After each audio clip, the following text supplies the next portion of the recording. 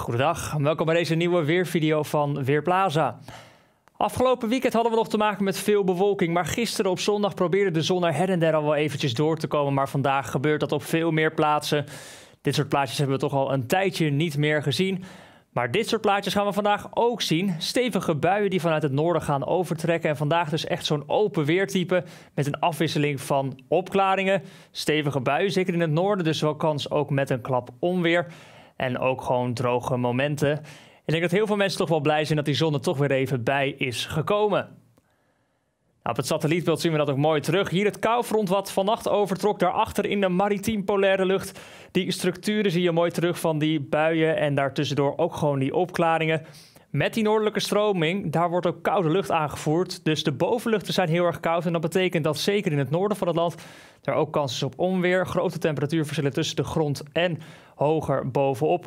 Dus dat is even iets om rekening mee te houden. Het algemene plaatje van deze week. Het Europees weermodel laat een hoge drukgebied zien net ten westen van Ierland. En ook een hoge drukgebied verder ten oosten in Europa. En bij ons snoert dat laagje dus af wat overtrekt vandaag. Met dus die buienactiviteit die trekt uiteindelijk richting het zuiden weg. En dan krijgen we opnieuw met een hoge drukgebied te maken. De stroming wordt wel wat noordwestelijk. En daardoor moeten we toch regelmatig weer rekening houden met veel bewolking. Af en toe wat gemiezer. Geen kletsnatte omstandigheden, maar dat herfstachtige weertype met die mistige omstandigheden, dat kan dus wel weer even gaan terugkeren. Vanaf vrijdag dan komt de kern van het hoogdrukgebied net ten zuiden van ons te liggen en dan lijken we toch wel iets vaker weer de zon te gaan zien. De komende dagen hebben we dus echt wel die afwisseling van die verschillende weertypes. Dan nog even de bovenluchttemperatuur. Daar zien we ook goed dat koude putje terug. Die gaat uiteindelijk richting het Middellandse Zeegebied trekken. En dat gaat daar opnieuw voor heel veel neerslag zorgen. We hebben dat natuurlijk een paar weken geleden al gezien. Maar ik denk zeker dat delen van het zuidelijke deel van Spanje, de zuidelijke costa's, weer 100 tot 200 mm regen misschien kunnen gaan zien de komende dagen. Maar ook onder andere op Mallorca. We houden het uiteraard in de gaten. Zeker na, natuurlijk naar alle nare ellende die daar is gebeurd een paar weken terug. Maar opnieuw moeten de inwoners daar toch rekening houden met heel veel neerslag.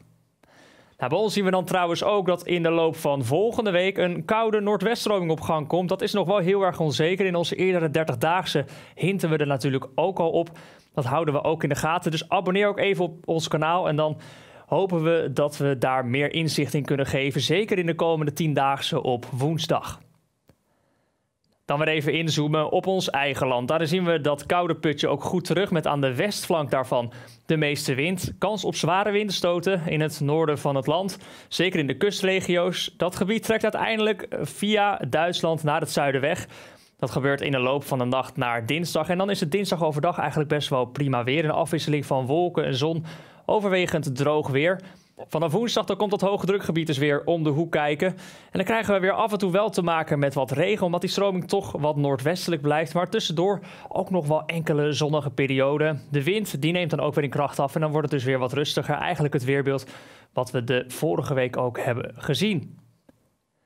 In de weersymbolen ziet dat er dan als volgt uit voor vandaag. Vrij hoge temperaturen, toch wel zeker in vergelijking met vorige week. 12 of 13 graden als maximum. En daarbij dus wel een stevige wind uit noordelijke richtingen, matig tot vrij krachtig.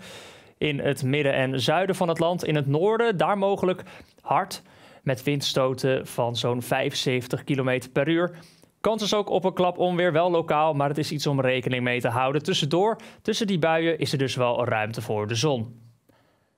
Nou, vanavond zet dat weertype zich eigenlijk gewoon voort. Dat koude putje trekt nog wat meer over ons land en daardoor toch wel meer bewolking in de avond. Af en toe wat regen en temperaturen die dalen naar zo'n 9 tot 11 graden.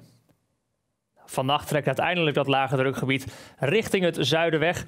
Als eerste worden dan dus ook droog in het noorden van het land met uiteindelijk minima zo tussen 7 graden in het oosten van het land tot nog wel 10 graden in de kustregio's. En die wind die neemt vanuit het noorden dan ook langzaamaan wat in kracht af.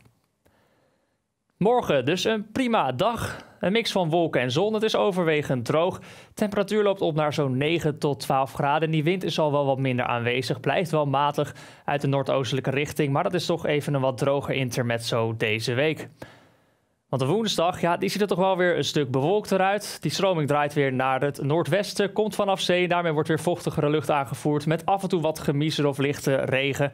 Grootste kans op zonnige periode is er nog weggelegd voor het noordwesten van het land.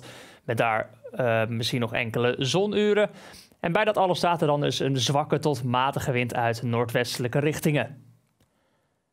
Ook donderdag ziet er bewolkt uit. In de ochtenduren ook mogelijk wel kans op nevel of mist, met dan een graad of 10. Vanaf vrijdag dan komt de zon er wat vaker weer bij met overwegend droog weer. De temperatuur blijft vrij, vrij gelijkaardig aan de dagen daarvoor.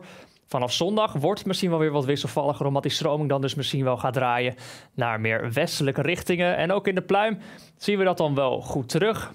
Eerst die temperaturen rond een graad of 10. Daar zien we ook weinig dagelijkse gang, dus wel weer meer bewolking dus op die woensdag en donderdag. Daarna nemen de kansen op een enkele nachtvorst wel weer toe, zeker landinwaarts. Daarbij neemt ook wel weer de kans op neerslag toe. De komende dagen dus overwegend droog, zeker vanaf dinsdag. Vandaag dus nog natuurlijk wel die kans op regen. Woensdag en donderdag kans op wat gemiezer. En zeker vanaf volgende week, dan kan het wel eens flink natter gaan worden. Maar daar komen we uiteraard in de toekomstige video's uitgebreid op terug. Ik wens je een fijne week.